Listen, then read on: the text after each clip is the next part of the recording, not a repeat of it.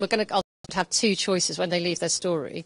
One would be is that I'm happy for this story to be shared anonymously with NHS Citizen, so it becomes part of our evidence base. But the other choice that they might have is that actually I would like to take this forward. I'm go- I'm happy to go to I'd, I'd like to go to NHS Citizen.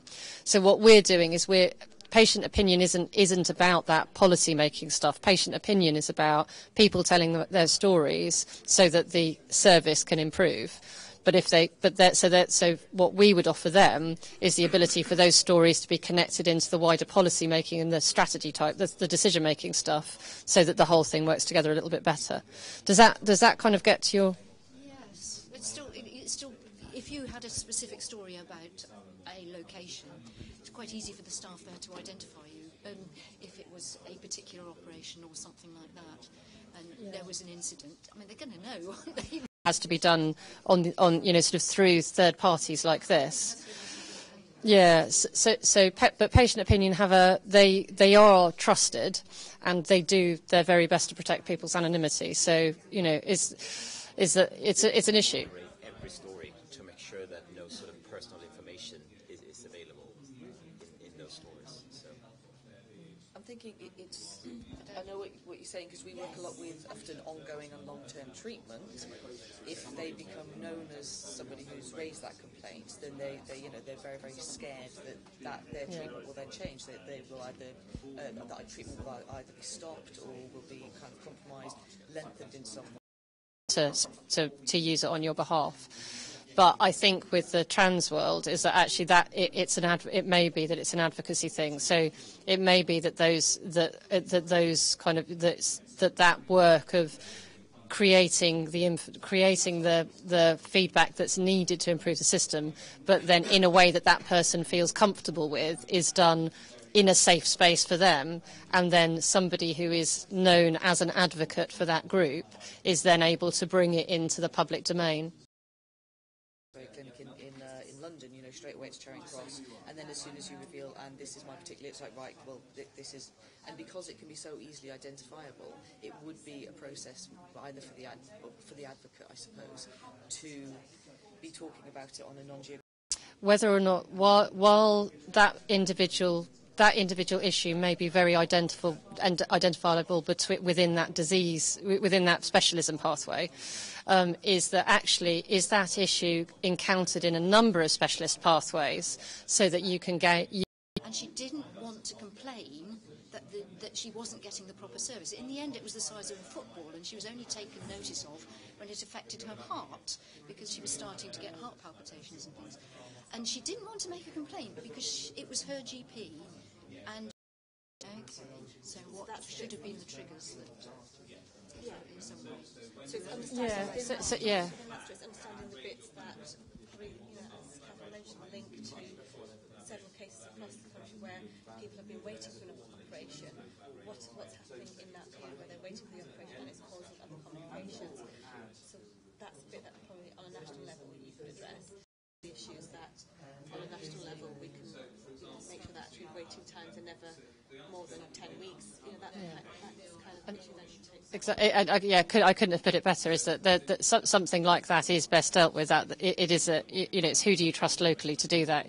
That that's that is going to be part of what's happening locally range on that is that is that some in some localities there is a lot of trust there, and that actually some of the, you know some of those some of those advocacy organisations, you know things like Health they are very they are trusted and they're really effective. In other places, people don't feel they, they don't feel that.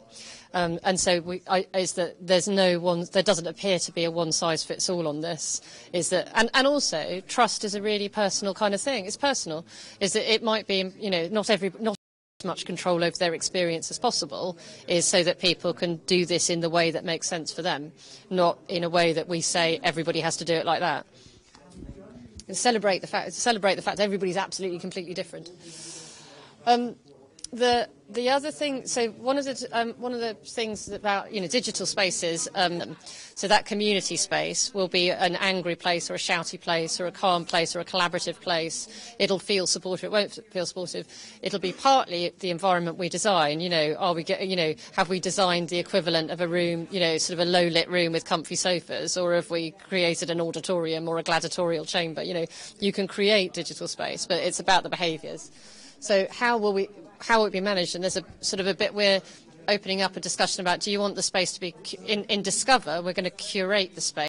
Kind of like you know, sort of managing of the managing of the content because that's where we expect there to be more contention. To be honest, um, but we've got the, the, the, intersection between discover and the human and the culture stuff is how do we want to be online? How do we want, how do we want to treat each other online? So we're quite interested in hearing from people about what does that, you know, actually what do you, what do you think is good behaviour? Because what's quite what's quite clear when you get into this is that is that there's quite a big constructive to everybody. Um, and then this question about not excluding offline people. So how do we work with those connectors? So does that give you a does that give you a sense of what Discover is? Yeah. And th- these are the kind of these are the kind of the quest- kind of questions. I mean, I'm I'm a bit I'm really um, I'm really I'm really curious about the citizen set. The thing with the citizen the, the personal data store is it's an extra job for people to do when they set up, but what we're doing for their own data, and and that's that's for me that's signalling the fact that the power is not in the hands of the system. If, if, if you know, information is power, um, then giving people back their power, which is their data, is for me an important signal to say we are bit, we are going to treat you like an actual person, and that's our intention. Because at any time you can choose to stop telling us stuff.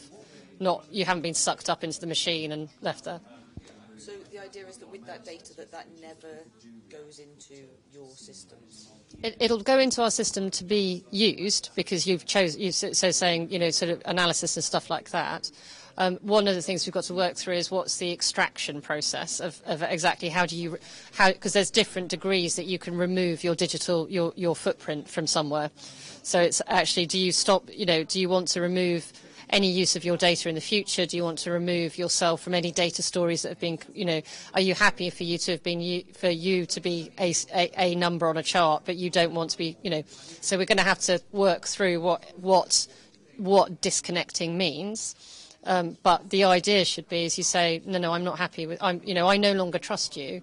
You're definitely not getting any access from now. But actually, how do you extract the, the, the you know, it's almost how do you how do you how do you remove the system's memories of you, um, which is a complicated thing. To, it's quantum. Because I think I think there's going to be really mixed opinions of it. Some, I don't think some people will necessarily mind. I don't know that they'll be that engaged with the, with the process, but when you think about things that are really high profile in the media at the moment, particularly the Google, Google search and connectivity through that, the whole surveillance issue with the Metropolitan Police, people are very, very aware of that surveillance culture. Um, but I think it will always come down to individual choice about whether or not um, they want to provide information at the level to which they provide it for me, it's about choice. And the more choice, sorry, Hayden, but the more choice you can give people, even though that will create a more complex system to administer, I think the more, the, the better it is because there will be people who will there'll be people who inherently just do not want to access the system, there will be those people who um, are that do want to access but are a bit cautious about it, and it will become. I, I would imagine it will become a developing relationship. Yes. So the more yeah. that, it, it, that they feel that they can trust the system, that the, the more they might kind of reveal and add on, yeah. and therefore the the greater amount of data. Um, the system can use. But if you go in at the start not giving people that, those choices, then it might inhibit engagement with it. So if it's that kind of building on. So I, I love the terminology of it being a is, is that we is seeing this as you are creating a relationship, and that actually the early stages of a relationship one should be a little coy about what one shares. you know, don't you think? So it's just exactly the equivalent of a consent form when yeah. people join in research and yeah. so they give their consent. You can use my DNA for future research. No, I don't want you to use mine. So, I mean, a simple, yes. almost like a simple login um, yes. at the start yes. is really what's needed, and then a reminder when they log in again. Do you still want your? Yes. And no, I don't. I can remove, remove that. Does that need the separate data store then? That, that's Well, a, yeah. a requirement. I think though, when you start looking at the simple login, what you want to do is start growing the information that you kind of associate with yourself.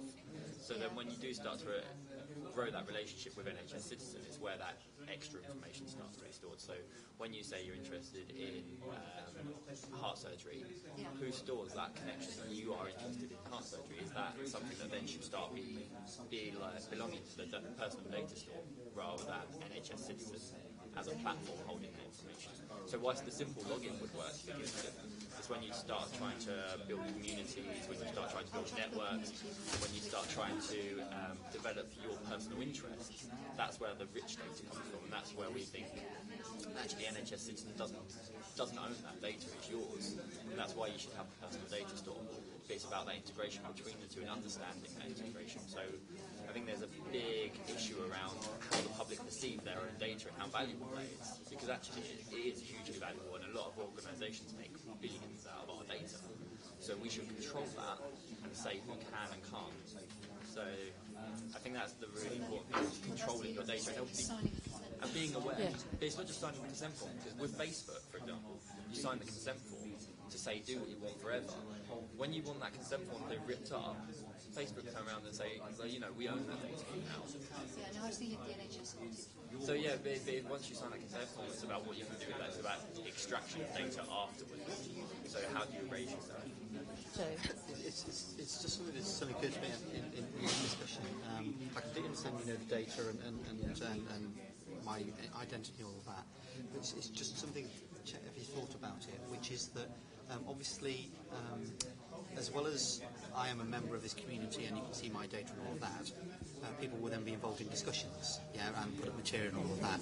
And I just think you should check that uh, um, that uh, uh, with the Information Commissioner's Office or something like that, that and, and make clear to users. That say, say for example, there's, there's, there's a discussion and somebody puts a load of evidence or puts some, some views or something, and then at the end of it, or six months later or 12 months later, whatever, says, do you know, I don't want to be part of this anymore, so I want you to remove my data, I don't want to be a member, and I want all my conversations and everything deleted.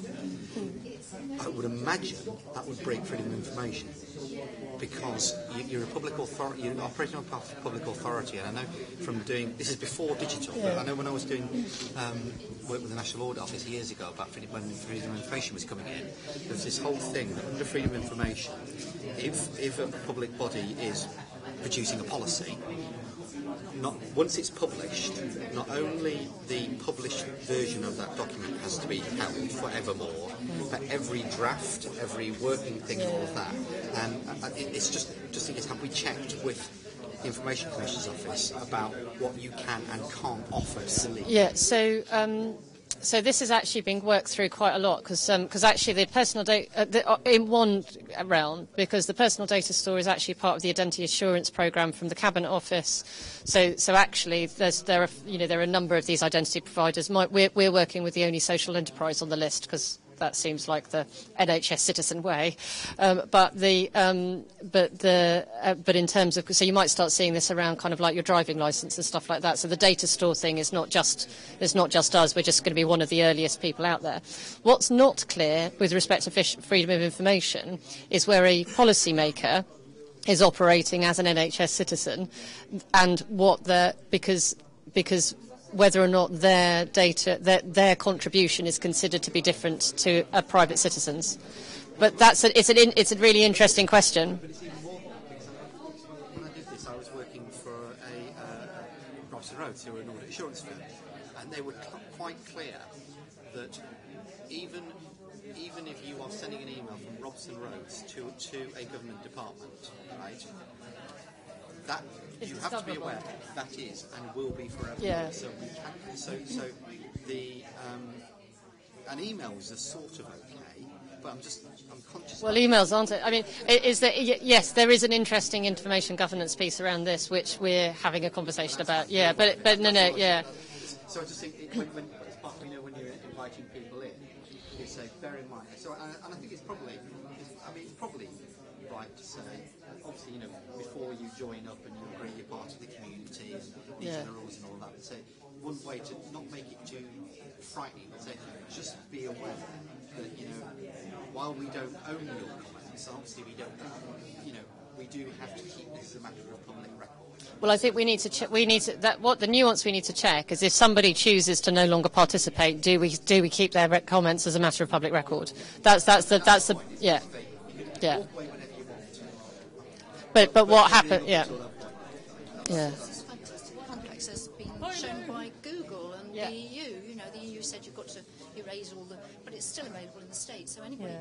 can Google this, that then becomes a Google record, which could be in America, and then it's public forever unless Google in America decides to It, get rid it, of it. yeah, it, it, on- once you once you start thinking about it, it breaks your head a bit. Uh, yeah, but but most complicated situations, we you know, is that for me, it's kind of like actually, do you have a do you have a clear set of principles on which you're trying to proceed, and they help you navigate the, the complexity. And I think what you're saying is about you must you should be aware that this might be Yeah.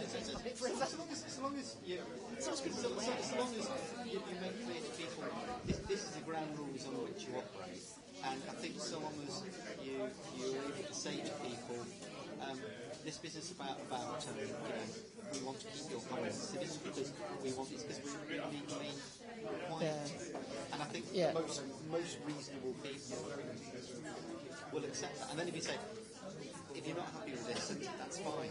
Then we be able to participate. You know, Yeah, without- we, but we need to. We, yeah, and it's a good point. I'm, I'm going to have to finish there because we got we got um, it's time for the next session. But hopefully that gives you a sense of what Discover is and maybe more questions, which is great. Um, we'll be talking about the data store and the, uh, the welcome thing on one of the other sessions as well. Otherwise, make yourselves free of other experiences. So thank you.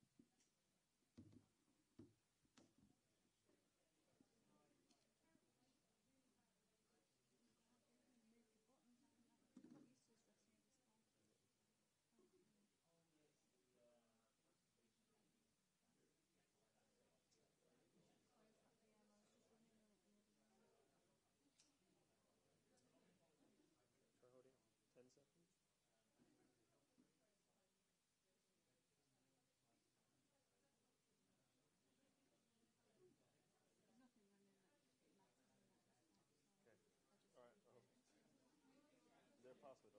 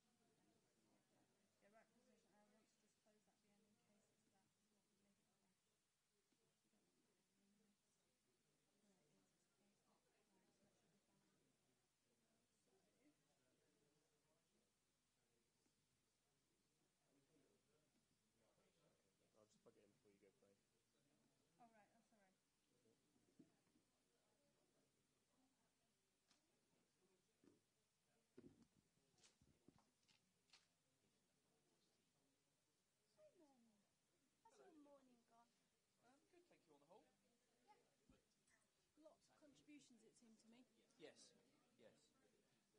We haven't got any answers from our lot, really.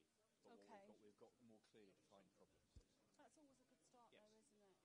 Because if we scope it with that, then we can actually start. I start. wanted answers. Did you? I wanted simple answers. I've got answers. I'm listening in if we're doing data halo.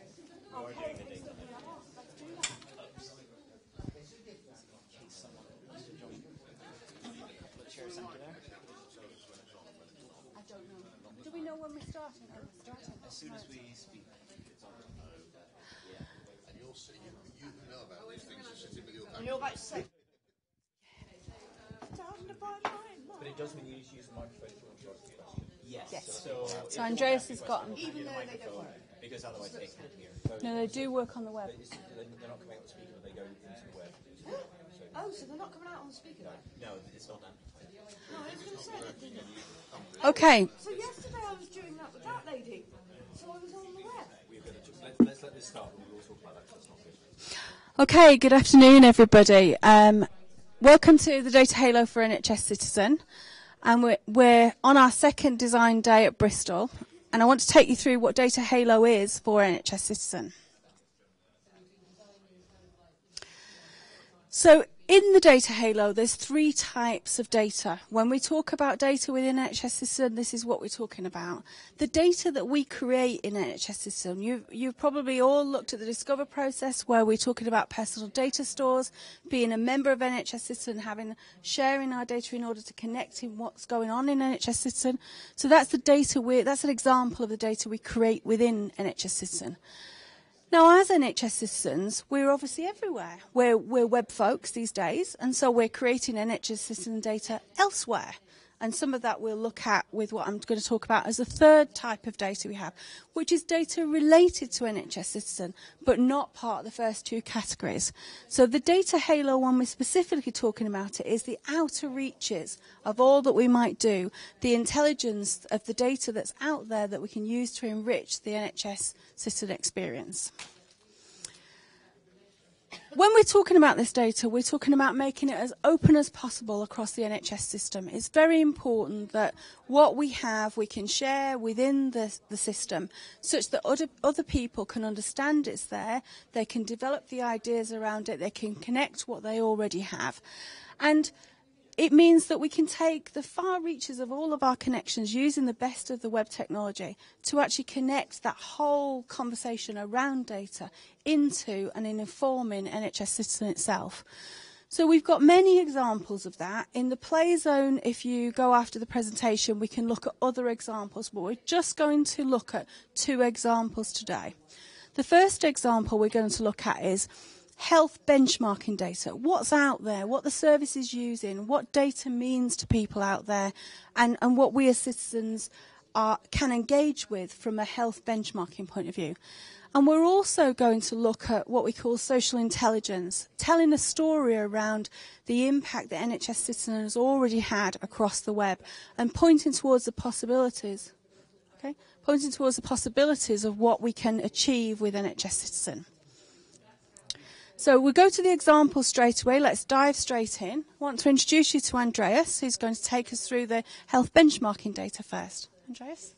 Thank you, Jackie. Um, yes, uh, my name is Andreas. I work for an organization called Membership Engagement Services. Uh, we work with about 150 NHS organizations around the country, and that's both on the provider side, so foundation trusts, and we also work with a lot of clinical commissioning groups, uh, CSUs, so the commissioning support units, and so on.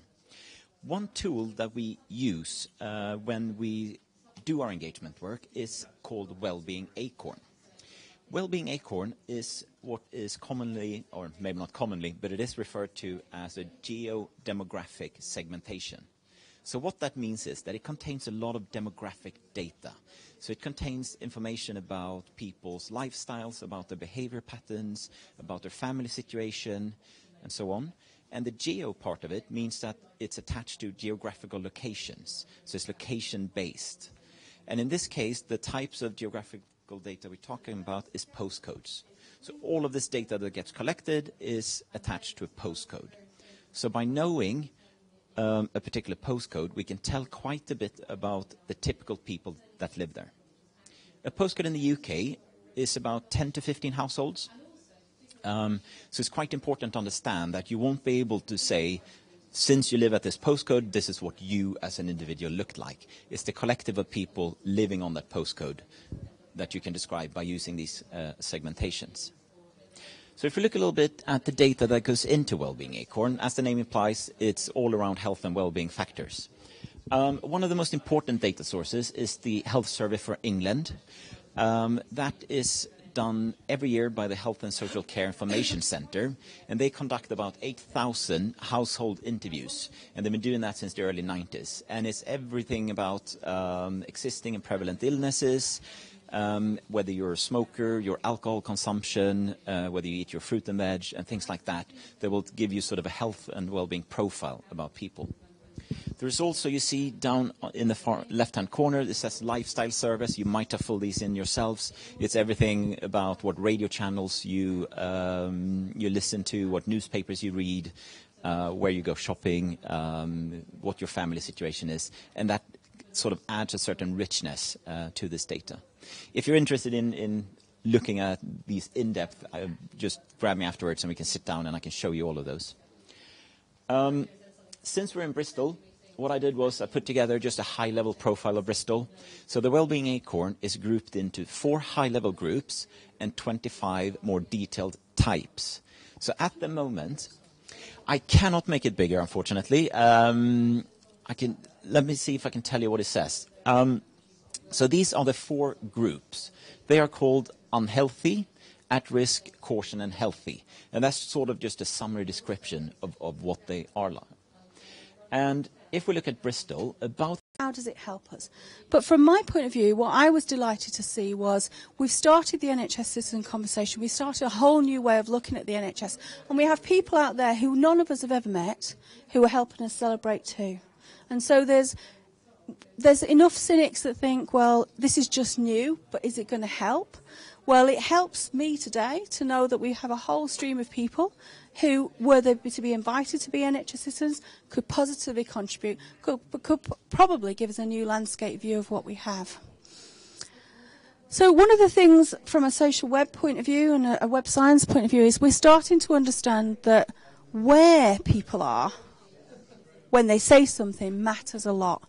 They might be at home, they might not be at home, but the context of where they are matters. So here we have we have the, the buzzes and the burst. We have the topics of I'm delighting and, and I'm um, disappointing you. We have the topics themselves and generally what people are thinking. But on the left hand side, we have a map. And on that map, it might not be a surprise, it certainly wasn't to me, to see people here talking about it. We've got so many people in the London area, not a surprise. Is it a surprise about the people here? Is it a surprise about the people here? Is it a surprise of people here? As NHS citizens, we're doing this as an online exercise. But ultimately, to make a fundamental change to the system, we have to connect the offline. And so when we're looking to do the outreach offline, can we understand from an online point of view where the advocacy already is? And can we use tools like this to be able to tell how we might develop an NHS system? Because it's a random piece and it's a random way of, of of harnessing the intelligence, or as it's called, the wisdom of the crowds, to actually tell a new NHS citizen story. And again, if you want to explore any of that in the play zone, that's where it is. And so the questions we have from an NHS citizen team is does this help you understand the sorts of things we might do? If you want to explore it more, we can go into more depth. Do you think it's useful, and what changes would you like us to make based on what you see? If you want to see this within NHS Citizen, the UX labs are out there, the play zone to interact with it in more detail, and questions and suggestions welcome. Hold my question. I'm going to go to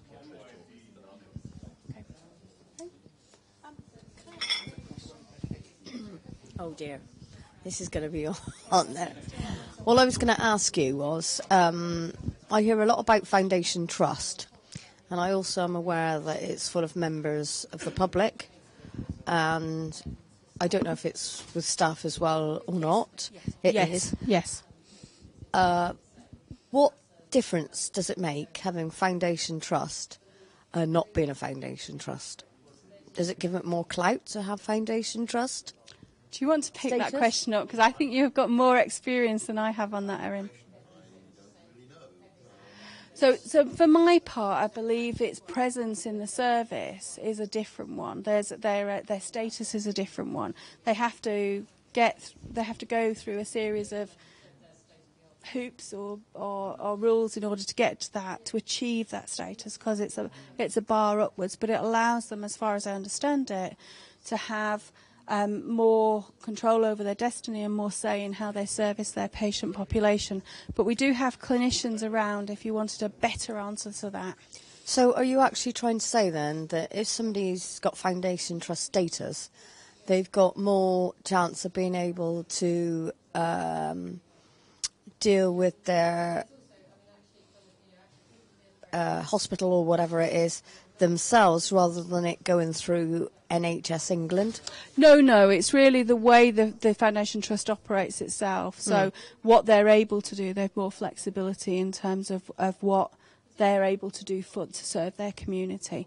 But we do, as I say, we do have clinicians around, so I can. Because I, I do know that I'm a. Uh, I don't know how I became a member, but I'm a member of um, an organisation that we're heading towards Foundation Trust status. Oh, right, yeah. But I also am aware that they wanted a lot of p- patients because now the new thing is to get service users involved Mhm. with the design and everything. Yep. But once they become Foundation Trust, they will not be able to pay expenses and things like that, which I Mhm. couldn't understand why. Yeah, that they wouldn't do that, but anyway, that's complex a complete, set, it set is. of rules Yes, around is. how they It is. operate. It is. And I think the NHS citizen piece is to enable you to perhaps do some of the things you might have done if you can't get to them to be able to have that voice within NHS citizen because the trust themselves would be part of this in terms of the connection via NHS England. Hmm. So it might well be that if that is an issue for you and that isn't a way to be resolved, then NHS Citizen could be a contact point for you, either online via our web service Hmm. or offline as we do our offline events like this. Yeah, well, I do actually believe that it's good to get the general public involved in it, the NHS because at the end of the day, it's their NHS. Yeah, it it's our yeah. NHS. Our NHS, we yeah. are using it, and it's the taxpayer that are paying for it. Therefore, there should there should be uh, a role there to be involved in it. However, if they feel that there isn't going to be anything to help the public that are using it or giving advice about issues, they're they're very valuable people, and they Yeah. should be treated as valuable people because they're saving a lot of the um, professionals a lot of money by being involved and help to ru- run run the organisation to the best of their ability. I think Therefore, you're they should be appreciated, Yeah. and there should uh, be at least be offered expenses for their time, even if they're doing it on a voluntary basis. Um, their travel expenses or something like that, or I think. I think I think that's in the in the gift of the Foundation Trust and what they can do. So really, I can't comment on that. But No, what no, I would say enough. to you is, actually NHS Citizen gives you another route for that voice. So if you Hmm. find that that is not, you know, from an access point of view, you can't do do that, then NHS Citizen is a direct route in as well. So actually, it might be that some of the work you might have done for that that Foundation Trust might be able to be have a voice to a commissioning issue. Uh, as well as a foundation of trust issue, a well to deliver of a service that matters to you or, or the people that you support. So NHS Citizen is a is a more general access to that, but on specific issues. So what about it, we've yet feel to that they're being fobbed off though. Well, anybody can play lip service. Yep, absolutely. Um, I, I've had this myself uh, in a meeting when the facilitator agreed all of this, and that was because CQC were around.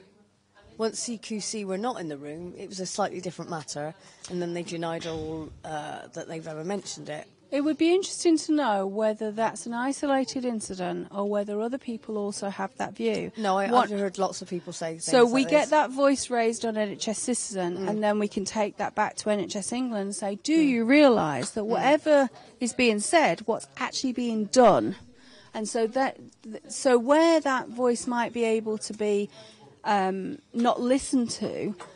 Elsewhere in NHS Citizen, it is listened to. Mm. So what I would urge you to do is um, actually register that on NHS Citizen as part of you being uh, one of the members of it. Mm. And then literally there's a place for you to say, I have this issue. That allows everybody else there to say, well, I do too.